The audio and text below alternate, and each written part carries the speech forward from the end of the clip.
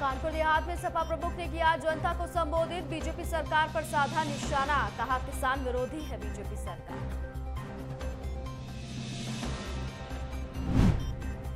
आगरा में जल निगम विभाग की बड़ी लापरवाही आई सामने। बिना सुरक्षा उपकरण के काम कर रहे मजदूर, लापरवाही के चलते पहले भी मजदूरों ने गवाई अपनी जान।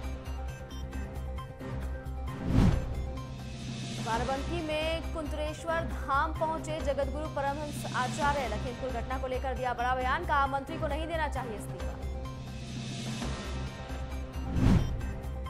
हरदोई में प्राथमिक विद्यालय में छात्रों से लगवाई जा रही झाड़ू। झाड़ू से लगाने का वीडियो वायरल, बीएसए ने दिए जाँच के निर्देश। नमस्कार, आप देख रहे हैं न्यूज़ वर्ल्ड इंडिया और आपके साथ मैं हूँ काजोल नारायण। शुरुआत करेंगे खबरों की। आगरा के गड़ी भदौरिया के माधव कुंज क्षेत्र में पानी की टंकी पर निर्माण कार्य के दौरान जल निगम विभाग की बड़ी लापरवाही सामने आई है, जहाँ पर मजदूर बिना किसी सुरक्षा उपकरण के जान जोखिम में डालकर काम करने को मजबूर हैं। आपको बता दें कि इससे पहले भी लापरवाही के चलते कई मजदूरों ने अपनी जान गंवा दी है, लेकिन फिर भी जल निगम विभाग इसकी अनदेखी लगातार करता रहा है। तस्वीरें आप देख सकते हैं, कोई भी सुरक्षा उपकरण यहाँ पर मौजूद नहीं है। और बिना सुरक्षा उपकरणों के यहाँ पर मजदूर काम करते हुए नज़र आ रहे हैं। इससे पहले भी इस तरह की लापरवाही जल निगम की लगातार देखी जा चुकी है। कई बार मजदूरों ने अपनी जान भी गंवाई है, लेकिन उसके बावजूद भी जल निगम विभाग इसकी अनदेखी करता है।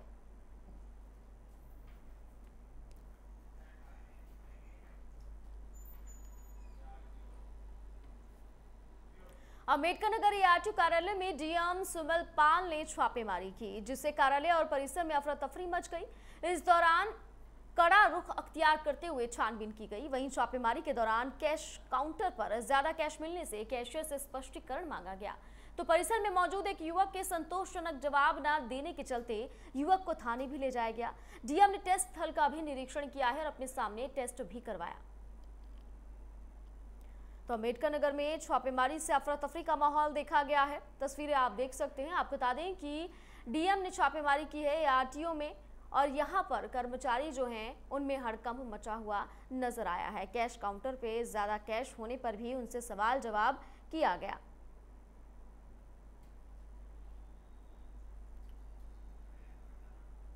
तो अंबेडकर नगर की तस्वीरें आप देख रहे हैं। आपको बता दें कि यहाँ पर डीएम ने टेस्ट स्थल का भी निरीक्षण किया है। दरअसल कई शिकायतें मिल रही थी जिसको लेकर छापेमारी की गई। तो एआरटीओ कार्यालय में डीएम सेमल पाल ने छापेमारी की, जिससे कार्यालय और परिसर में अफरा तफरी का माहौल देखा गया। इस दौरान कड़ा रुख्तियार भी अख्तियार किया गया और इसमें छानबीन भी की गई। वहीं छापेमारी के दौरान कैश काउंटर पर ज़्यादा कैश मिलने से कैशियर से स्पष्टीकरण मांगा गया। तो परिसर में मौजूदा एक युवक के संतोषजनक जवाब न देने के चलते युवक को थाने भी ले जाया गया है। डीएम ने टेस्ट स्थल का भी निरीक्षण किया और अपने सामने टेस्ट भी करवाए हैं।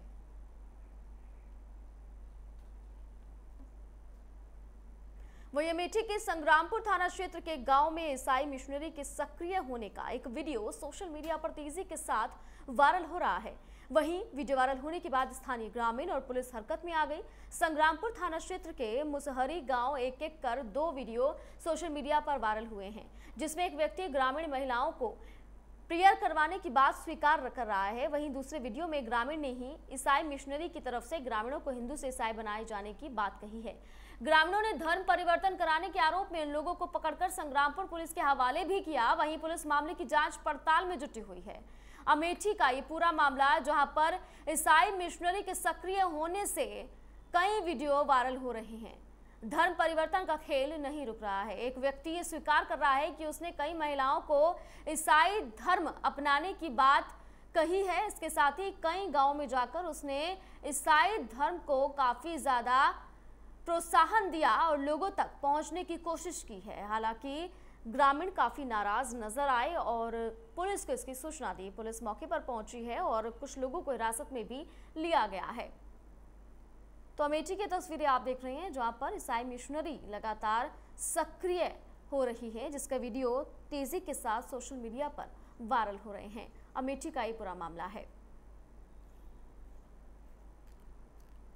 तो अमेठी की तस्वीरें ईसाई मिशनरी के सक्रिय होने का वीडियो वायरल। दरअसल बताया जा रहा है कि कई महिलाओं को यहाँ पर प्रेयर करवाई गई है और धर्म बदलने की बात भी उनसे कही जा रही है, स्वीकार करवाया जा रहा है। दूसरे वीडियो में ग्रामीण ने ईसाई मिशनरी की तरफ़ से हिंदुओं से ईसाई बनाए जाने की बात कबूली है। ग्रामीणों ने धर्म परिवर्तन कराने के आरोप में उन लोगों को पकड़कर पुलिस के हवाले भी कर दिया। फ़िलहाल पुलिस इस पूरे मामले की छानबीन में जुटी हुई है।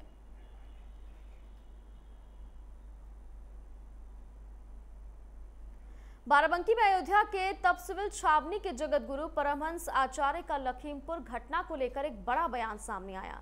जगत गुरु परमहंस आचार्य ने कहा है कि मंत्री को इस्तीफा नहीं देना चाहिए। उन्होंने कहा कि किसानों पर किसी ने गाड़ी नहीं चढ़ाई है। किसान नहीं, बल्कि खालिस्तानी समर्थकों ने गाड़ी पर हमला किया था। जान बचाने के चलते गाड़ी का संतुलन बिगड़ गया, जिससे यह हादसा हुआ। ये वही लोग हैं जो 26 जनवरी के दिन तिरंगे की जगह दूसरे झंडे को लगाकर अपमान कर रहे थे। ये वही लोग हैं जो रोड जाम कर देते हैं। ये शेर की खाल में गीदड़ हैं। इनके पीछे कुछ मंडी के बिचौलिए हैं और कुछ राजनीतिक पार्टियों के एजेंट हैं जो अपने सियासी लाभ के लिए सरकार को बदनाम करने की कोशिश कर रहे हैं। आपको बता दें कि लखीमपुर मामले को लेकर सियासत जोरों पर है। वहीं देश के आम नागरिक तो इस पर बात कर ही रहे हैं, लेकिन अगर धर्म गुरुओं की बात की जाए तो वो भी सामने आ रहे हैं और अपनी प्रतिक्रियाएँ दे रहे हैं। ऐसा जगत गुरु परमहंस आचार्य ने भी विवादित बयान दिया है। हालाँकि विपक्ष से विवादित बयान दिया है, कह रहा है, लेकिन सरकार का मानना है कि उन्होंने जो भी कुछ कहा है वो सही है, क्योंकि अभी जाँच चल रही है। जहाँ एक तरफ़ विपक्ष इस्तीफे की मांग कर रहा है तो दूसरी तरफ़ सरकार इसको लेकर लगातार विपक्ष को घेरने की कोशिश कर रही है। परमंश दास ने कहा है कि गाड़ी किसी ने नहीं चढ़ाई है। वो खालिस्तानी है, वो किसान नहीं है। उन्होंने गाड़ी पर हमला किया, जिसके चलते गाड़ी का संतुलन बिगड़ गया और लोगों की जान चली गई।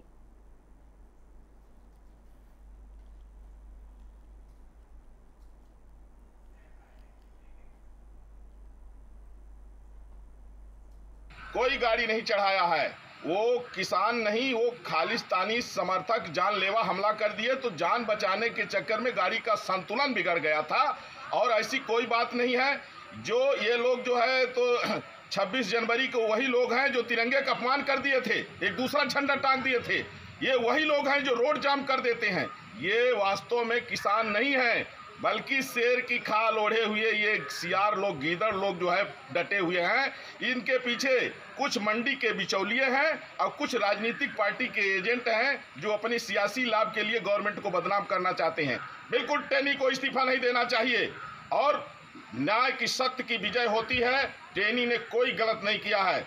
और जो ये किसान के आड़ में जो लोग जो है तो सियासत कर रहे हैं, इनके ऊपर अब प्रियंका वाड्रा प्रियंका वाड्रा का इसमें क्या रोल है? प्रियंका कोई किसान है क्या?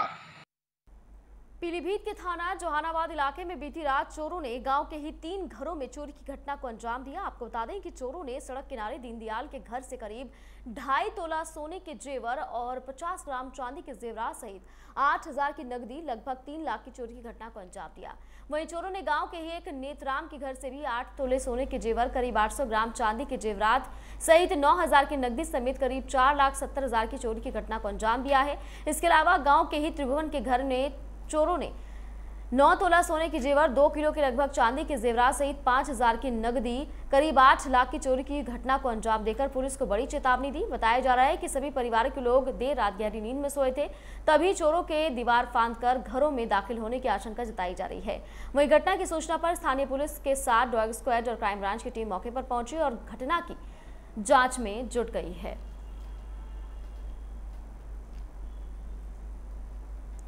तो पीलीभीत का ही पूरा मामला है, जहाँ पर एक ही रात में चोरों ने कई घरों पर धावा बोला है।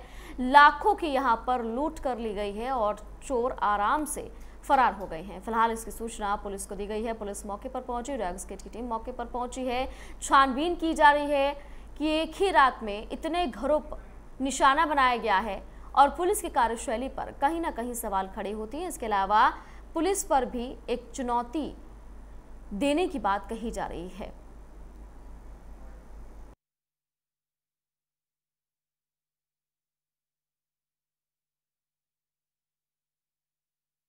आज हम जब सुबह उठे, तीन बजे के टाइम तो हमारी पत्नी ने जो है हमें उठाया और ये कहा कि जो है कमरा ये किसने खोला है? रात कमरा जो ये खुला हुआ था तो हमने कहा ये कमरा जो है, फिर हमने उठ के जो जब देखा तो कमरे में ये सब सामान बिखरा हुआ पड़ा और दोनों कमरों की यही स्थिति थी कि सब कुछ इसमें जो है वो पहले से ही चोर खंगाल चुके थे। लगभग कितने की चोरी हुई? आप लोग कहाँ थे रात में? हम तो यहीं लेटे थे पास में ही यहाँ पड़ोस में। तो कोई अ, अ, कोई आहट नहीं सुनाई नहीं कोई सुनाई आहट किस सुनाई। तरीके से चोर दाखिल हुए घर में? चोर जो है दीवार वो मतलब कूद करके अंदेशा लगाया जा रहा है कि इस तरह से जो है दाखिल हुए। लगभग कितने की चोरी हुई है? चोरी जो है चार लाख सत्तर हज़ार रुपए की हुई है जिसमें नौ हज़ार नकदी है। अच्छा जानकारी मिली कि गाँव के ही दो घरों और घरों में भी चोरी हुई? हाँ वो पड़ोस के ही हमारे एक चाचा लगते हैं उनके यहाँ। उनके यहाँ भी हुई है और एक दूसरे हैं वो भी पास के तो क्या लगता है कि जो चोर हैं वो अज्ञात हैं या कोई जान पहचान है या कोई इस तरीके का अभी तो हम अज्ञात जो है चोरी घटना अंजाम दिया है? अभी तो हम अज्ञात ही कहेंगे क्योंकि इसके बारे में हमें कोई ज़्यादा मतलब जानकारी नहीं है। और इसी खबर पर ज़्यादा अपडेट के लिए मेरे सहयोगी प्रांजल मेरे साथ फ़ोन लाइन पर जुड़ गए हैं। प्रांजल एक ही रात में तीन घरों पर चोरों ने धावा बोला लाखों की लूट की आराम से फरार हो जाते हैं। क्या कह रही है पुलिस? प्रांजल मेरी आवाज़ मिल रही है आपको? जी मिल रही है। प्रांजल क्या मुझे सुन पा रहे हैं आप? प्रांजल एक ही रात में तीन घरों पर चोरों ने धावा बोला है लाखों की लूट की है। पुलिस कहाँ है? क्योंकि पीलीभीत में लगातार क्राइम बढ़ रहा है चोरी की घटनाएँ बढ़ रही हैं। जी आपको बताना चाहिए पूरी घटना जो है थाना झाड़ाव इलाके के सुपुरिया गाँव की है जहाँ एक ही जहाँ एक ही गाँव के तीन घरों में जो है चोरों ने जो है चोरी की घटना को अंजाम दिया है। लगातार इस तरह की घटनाएँ जो है क्षेत्र में हो रही हैं। और यहाँ पर जो पुलिस को लगातार जो चुनौती जो है चोर जो है, लगातार देते चले जा रहे हैं। लेकिन पुलिस की यहाँ पर कार्यशैली जो है इतनी खराब है कि अभी तक किसी भी चोरी की घटना का ना तो खुलासा कर पाई है, ना चोरों को गिरफ़्तार कर पाई है। आपको बताना चाहिए कि जो है, दीन दयाल के घर से जो है, करीब ढाई लाख के सो- सोने के जेवर जो है समेटे और पाँच सौ ग्राम चांदी के जेवर जो है समेट करके फरार हो गए हैं। वहीं नेत्राम के घर में भी चोरी घटना को अंजाम दिया है जो इनके घर से थोड़ा ही आगे बढ़ के है जहाँ आठ सोलह सोने के जेवर और आठ सौ ग्राम चांदी के जेवर सहित जो नौ हज़ार की नकदी समेट कर ले गए हैं। बिल्कुल प्रांजल जो ग्रामीण हैं उनमें किस तरह का माहौल बना हुआ है? क्योंकि काफ़ी गुस्साए ग्रामीण होंगे काफ़ी दहशत में होंगे डर रहेगा उन्हें।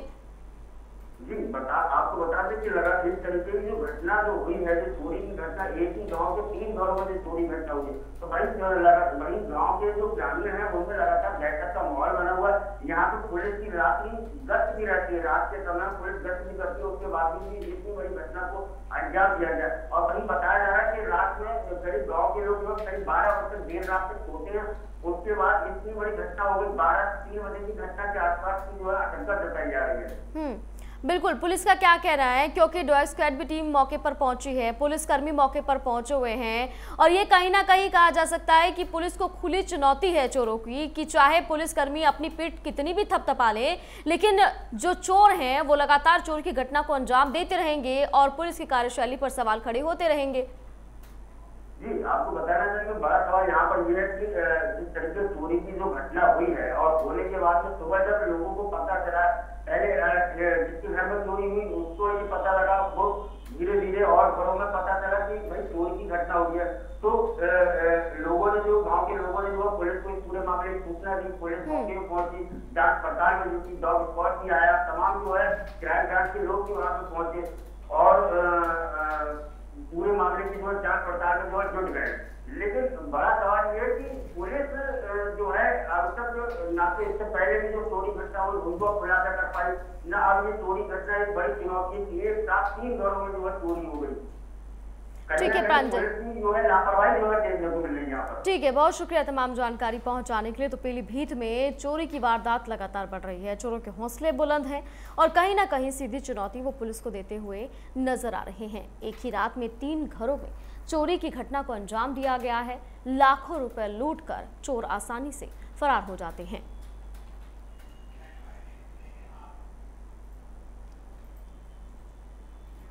बुलंदशहर के सिकंदराबाद के गाँव में धान के पुलों से भरी पिकअप वैन हाईटेंशन लाइन से टकरा गई, जिससे पिकअप वैन में भीषण आग लग गई। वहीं पिकअप वैन में आग लगता देख ड्राइवर समेत तीन लोगों ने कूदकर अपनी जान बचाई। आग बुझाने के दौरान पिकअप ड्राइवर भी बुरी तरह से झुलस गया। स्थानीय लोगों ने इसकी सूचना फायर ब्रिगेड को दी, लेकिन सूचना मिलने के बावजूद फायर ब्रिगेड नहीं पहुँची, जिसके बाद आसपास के खेत में काम कर रहे लोगों ने आग बुझाने की बहुत कोशिश की और कड़ी मशक्कत के बाद आग पर काबू पाया गया। बुलंदशहर की तस्वीरें आप देख रहे हैं, जहाँ चालक समेत तीन लोगों ने कूदकर अपनी जान बचाई है। बताया जा रहा है कि हाई टेंशन लाइन से पिकअप वैन टकरा गई, जिससे आग लग गई और आसपास के खेत में काफ़ी ज़्यादा आग की लपटें उठने लगी। लोगों ने बहुत कोशिश की आग बुझाने की। फायर ब्रिगेड को सूचना दी गई, लेकिन समय पर फायर ब्रिगेड नहीं पहुँची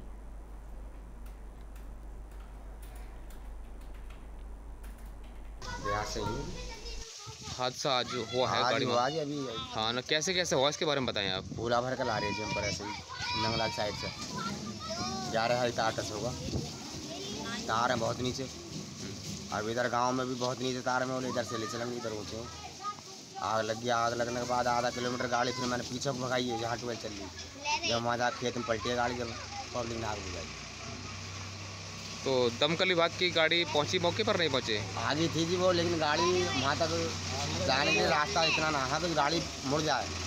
लेकिन फिर भी यहाँ से मुड़कर वो बाद में पहुँचे वो बुझा दिए होंगे। खेत ना पहुँचे वापस चली गई रास्ता इतना नहीं है कि गाड़ी दमकल वाली वहाँ चली जाए। इसमें ये आगे ऐसे लगी है हाई टेंशन जो लाइन जा रही है इसमें तार टच हुए गाड़ी आ रही थी एक पूले भर के। उसमें टच होके ये गा उससे आग लगी है। वो गाड़ी जाके आगे हमने अपने खेत में पानी भर रहा था उसमें जाके खाली करवाई। इसमें आग जबकि जो की तो लगी रह, रह गई। और उसके बाद में वो 102 नंबर की जो गाड़ी होती है फायर ब्रिगेड वाले की वो आई। वो रोड तक आके वापस चली गई। उसे पता नहीं उन्होंने गाँव वालों ने नहीं आने दिया या वे अपने आप नहीं लेकर आए ये हमें कोई पता नहीं है। वहीं ग्रेटर नोएडा में पुलिस को बड़ी सफलता हाथ लगी, जहाँ पर सूरजपुर कोतवाली पुलिस ने 55 लाख रुपए की फर्जी लूट का खुलासा किया है। खुलासा करते हुए पुलिस ने तीन आरोपियों को गिरफ़्तार किया, जिनकी निशानदेही पर 55 लाख रुपए भी बरामद किए गए हैं। इनके पास से पुलिस ने एक कार, एक अवैध तमंचा, दो चाकू, दो फर्जी आधार कार्ड भी बरामद किए। फ़िलहाल पुलिस ने तीनों आरोपियों को गिरफ़्तार कर जेल भेज दिया है। तो ग्रेटर नोएडा में पचपन लाख की लूट का पुलिस ने खुलासा कर दिया। आरोपियों को गिरफ़्तार कर लिया गया है। आपको बता दें कि लगातार इनकी संलिप्तता बढ़ती जा रही थी। एक एक करके फर्जी लूट की घटनाओं को ये अंजाम दे रहे थे।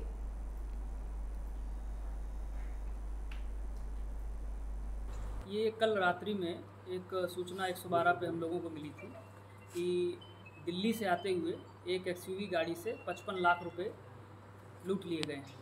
इसमें तत्काल जो है वो सारे अधिकारी मौके पर पहुँचे। मैं भी गया और एडिशनल कमिश्नर साहब, लव कुमार साहब भी गए। थे वादी से बात की गई तो बताया कि उसको जो है वो बाँध करके गाड़ी के अंदर डाल दिया और उसकी गाड़ी में एक पचपन लाख रुपए से भरा हुआ बैग था, जो दूसरी एक गाड़ी थी इको स्पोर्ट्स गाड़ी, उसमें एक युवक लेकर के चला गया गन लगा करके। इसमें तत्काल हमने जो है एफआईआर दर्ज की। दर्ज करने के बाद जिनका ये पैसा था, उनको बुलाया, उनसे बात की, उन्होंने बताया कि ये प्रॉपर्टी का एक कुछ काम था उनका दिल्ली में, वहाँ इनका ड्राइवर ये पैसा देने जा रहा था। फिर ड्राइवर से बात की तो ड्राइवर की कुछ बातें हमें विरोधाभासी लगी। और डिटेल में जा कर के बात की तो पता चला कि ड्राइवर जो है, ये बीच में रुका है और उसके कुछ ऐसे स्टेटमेंट थे जो सही नहीं थे, जो विरोधाभासी थे। उस पर हमने उससे और कड़ाई से पूछताछ की तो उसने बताया कि उसका एक साथी जिसका नाम रॉबिन और फ्रॉकी है और उसका भाई अमित, ये तीनों लोग इस घटना में इन्वॉल्व हैं। हरदोई के एक प्राथमिक विद्यालय में बच्चों की तरफ़ से झाड़ू लगाने का वीडियो सोशल मीडिया पर वायरल हो रहा है। वीडियो वायरल होने के बाद मामले में कार्रवाई की मांग होने लगी तो बीएसए ने पूरे मामले की जाँच बिठाई है। और रिपोर्ट मिलने पर कार्रवाई किए जाने की बात कही। स्कूलों में लाखों कोशिशों के बावजूद व्यवस्थाएँ सुधरने का नाम नहीं ले रही। शासन स्तर से इन स्कूलों में व्यवस्थाएँ सुधारने के नाम पर पानी की तरह पैसा बहाया जा रहा है, लेकिन स्थिति जस की तस बनी रहती है। ब्लॉक कड़ियावा के प्राथमिक स्कूल, रावल स्कूल का एक ऐसा ही मामला सामने आया जिसमें काफ़ी छोटे बच्चों से स्कूल में झाड़ू लगवाई जा रही है। इसका वीडियो सोशल मीडिया पर वायरल हो रहा है। हालाँकि वीडियो वायरल होने के बाद मामले में कार्रवाई की मांग होने लगी, जिसके बाद बीएसए वीपी सिंह ने पूरे मामले की जाँच के आदेश दे दिए हैं। हरदोई की तस्वीरें आप देख रहे हैं। प्राथमिक विद्यालय में छात्रों से झाड़ू लगवाई जा रही है, जिनके वीडियो सोशल मीडिया पर वायरल हो रहे हैं। हाँ वीडियो मेरे भी संज्ञान में आया है आज ही। प्राथमिक विद्यालय रावल विकासखंड टड़ियामा का है, जिसमें कुछ बच्चे झाड़ू लगाते हुए दिखे गए हैं। स्पष्ट निर्देश है कि बच्चों से कोई कार्य न कराया जाए। विकास खंड शिक्षा अधिकारी टड़ियामा से जाँच का आख्या मांगी गई है, तदनुसार संबंधित के विरुद्ध कठोर कार्रवाई की जाएगी। समाजवादी पार्टी के राष्ट्रीय अध्यक्ष अखिलेश यादव समाजवादी विजय यात्रा लेकर पहुँचे कानपुर देहात, जहाँ पर जनता को संबोधित करते हुए अखिलेश यादव ने बीजेपी सरकार पर जमकर निशाना साधा है। अखिलेश यादव ने बीजेपी को किसान विरोधी सरकार बताया और कहा कि बीजेपी सरकार पिछड़े दलित अल्पसंख्यक की विरोधी है। बीजेपी सरकार भेदभाव कर बुलडोजर चला रही है। इस सरकार में आईपीएस फरार है। सरकार में पिछड़ों और दलितों समेत अल्पसंख्यक लोगों के साथ अत्याचार किया जाता रहा है। निर्दोष लोगों को जबरन जेल में भेजा जा रहा है।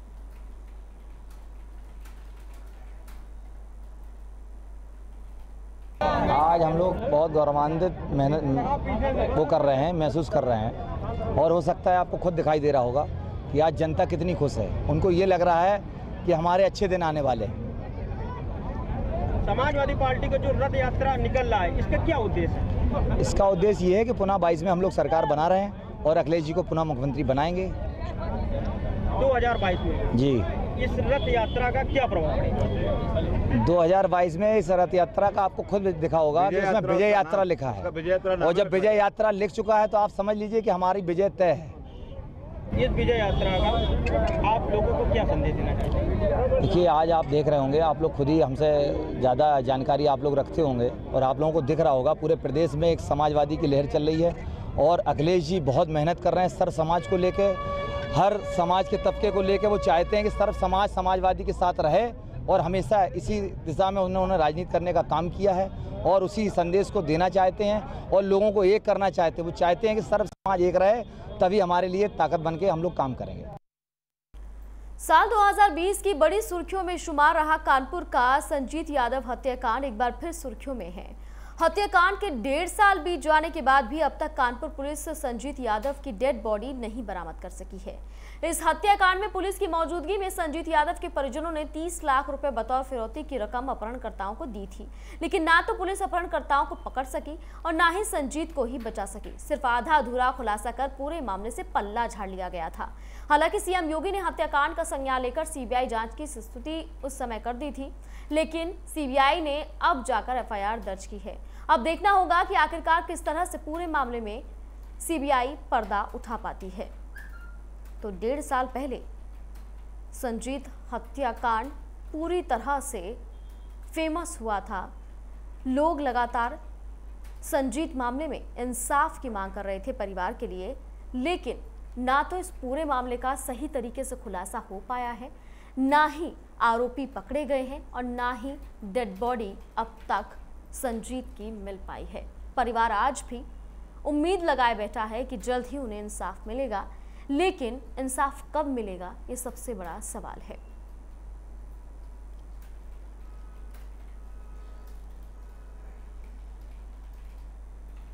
मैं योगी जी से हाथ जोड़ के निवेदन करना चाहती हूँ कि मेरा इकलौता भाई था, मेरे माँ बाप का इकलौता सारा था। योगी जी, हमारी तरफ़ भी ध्यान दीजिए। आपने सीबीआई जाँच के लिए आदेश कर दिया। बहुत अच्छी बात है।